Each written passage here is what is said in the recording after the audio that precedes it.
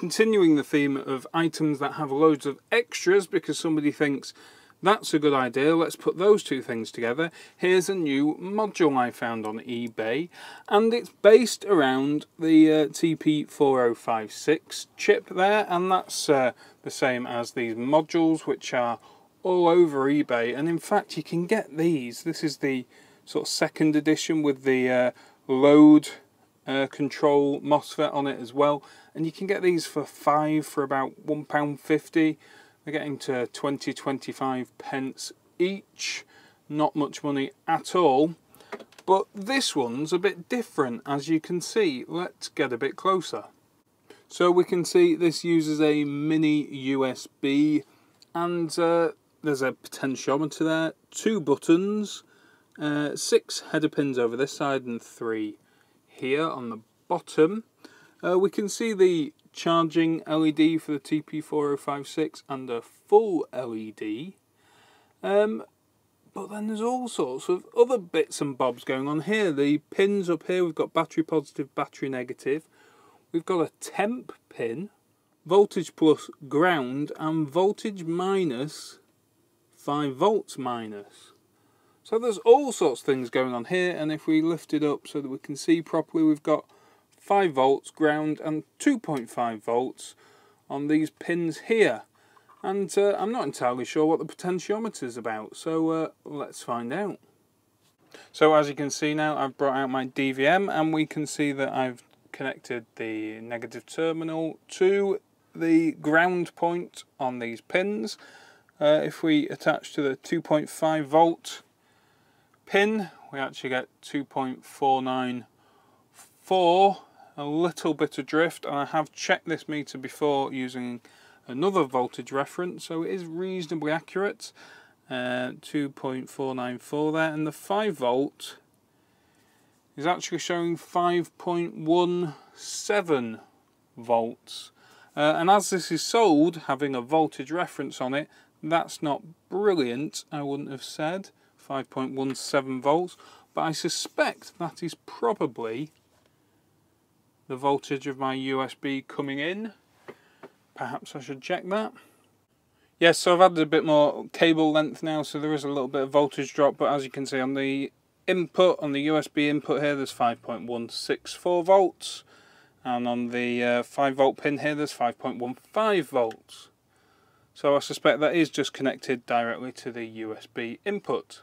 So what is this pin marked V+. plus? Well, uh, let's plug in the DVM it is 3.336 volts. Well, that's presumably coming from the AMS Treble 17 uh, 3.3 volt linear regulator there. And I'm assuming if I press this button here, that is an adjustable voltage and that must be on the potentiometer then. So if I adjust that 1.6 volts,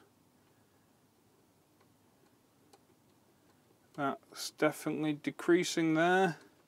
1.48 volts. And where does it go up to? And I keep turning this, but I'm not hearing any clicks, but we must be near the end now. Uh, 3.75 volts, so it goes from 1.4 to 3.75 on the adjustable output, and you can see that the adjustable LED is illuminated. Or oh, we go back to 3.3 volts. But what about this pin down here that voltage minus 5 volts? Yeah, well we are seeing a negative value here, 5.15 volts uh, between ground and this pin here. Uh, but this also has a button. This second button is marked. So what does that do? Okay, so it's negative 3.3 volts or negative 5 volts. Well, having a, a negative 5 volts and a positive 5 volts could be quite handy. Now I don't remember anything on the TP4056 datasheet about temperature compensation, so perhaps we need to have a look at that and see if we can work out what that pin's about. And here we have the TP4056 datasheet, and if we scroll down, pin 1 is actually the temperature uh, pin, and uh, we need to connect a negative temperature coefficient thermistor. Um, if the temp pin's voltage is below 45% or above 80% of the supply voltage V in for more than 0.15 seconds, uh, it means the temperature is too high or too low and charging is suspended.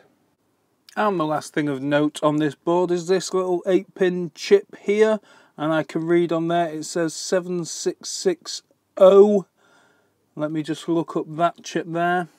And I believe that's this Intersil chip and it's the ICL 7660 and as you can see it's a DC to DC converter um, input range of plus 1.5 volts to plus 10 volts and results in a complementary output of minus 1.5 to minus 10 volts.